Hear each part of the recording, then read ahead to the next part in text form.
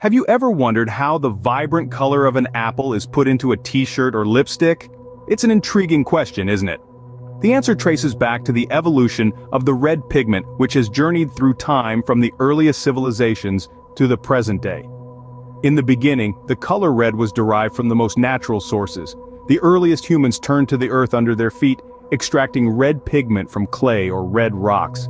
This earthy red color found its way into primitive art, clothing and even body decoration, a simple yet effective way of producing the color red. As time advanced, so did the methods of producing red pigment. Fast forward to the 1400s when the Aztecs, a civilization known for its innovation and creativity, discovered a new source of red.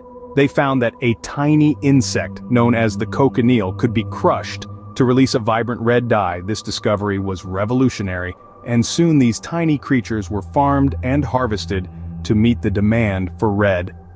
Fast forward to the present day, and this method is still in use cochineal insects continue to supply the world with a significant portion of its red dye.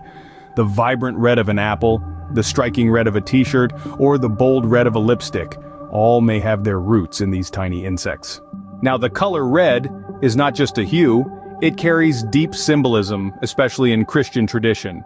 In the Bible, red is a color of royalty, sin, and shame. It's also the color of blood. When Jesus was ridiculed as a would-be king, cloaked in shame and robed in the color of the blood he would soon shed, these symbolisms merged into one heartbreaking image of red. Yet the same red color carries a promise, the promise of deliverance from sin. Though your sins are like scarlet, they shall be as white as snow, says Isaiah in the Bible.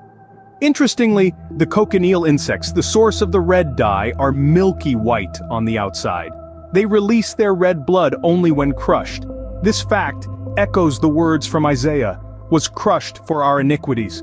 Red, the color of sin, was endured by Jesus in his crushing death, to save those stained by sin and to make them as white as snow. So, the next time you see the color red, remember its journey, from the clay and rocks of the early civilizations through the innovative Aztecs and their cochineal insects to the present day. Remember its symbolism, from royalty and sin to deliverance and salvation. The color red, as vibrant as an apple, as striking as a dress, and as bold as a lipstick, is a testament to the journey of humanity and a symbol of hope and salvation.